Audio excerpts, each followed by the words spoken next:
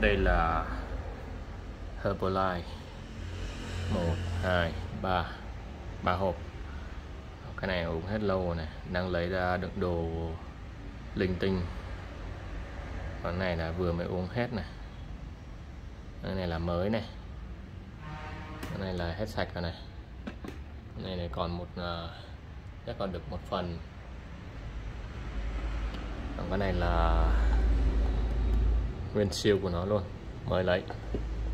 Đó. thực phẩm. Thay thế bữa ăn sáng. Bổ sung đầy đủ dưỡng chất. Ta sẽ xem xem trên này nó có những gì. À, hỗn hợp dinh dưỡng công thức 1 shake là bữa ăn lành mạnh cung cấp sự cân bằng protein và dưỡng chất một cách phù hợp à, hỗn hợp thỏa mãn cơn đói và duy trì năng lượng.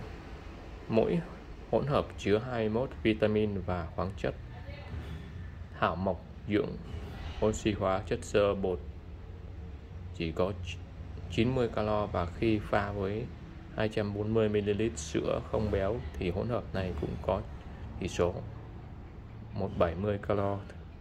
Thưởng thức sản phẩm lành mạnh này cho bữa ăn sáng bữa trưa hay bữa tối giúp bạn có sức khỏe và quản lý cân nặng hiệu quả. Trái tim thông minh 25 gram protein đậu nành mỗi ngày là một uh, phần của chế độ. Ăn có hàm lượng thấp hàm lượng chất béo thấp và cholesterol có thể làm nguy cơ. Như này hướng dẫn sử dụng lắc nhẹ trước khi sử dụng pha hoặc khuấy hai thìa ờ, uh, (25g) hỗn hợp với một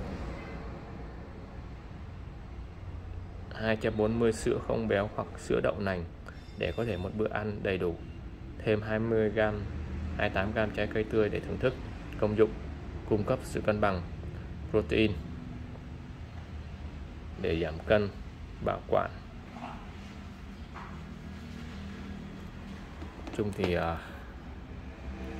đây là cái gọi là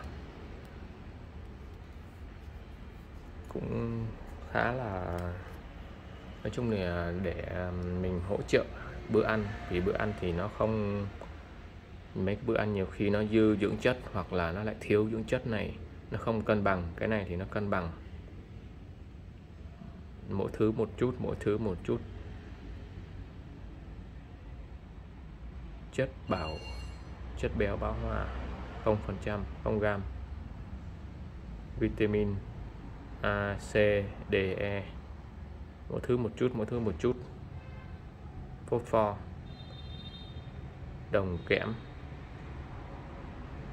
Nói chung là mỗi thứ một chút nó để nó đảm bảo dưỡng chất cho mình.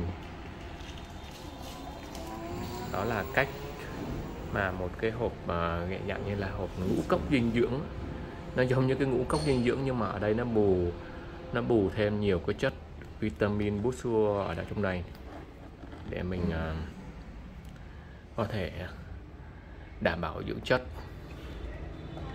Là là cái hộp uh, sử dụng của nó 24 hộp này hộp mới còn nguyên siêu đó còn này là mình đã uống hết. Còn một phần hơn chưa được một phần. Đó. Ba hộp Herbalife.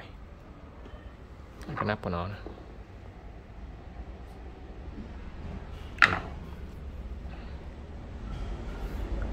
nó dùng cái nhựa này là nhựa à, số 2 nhựa số 2 thì cũng nhựa gọi là, là nhựa tốt rồi không độc hại.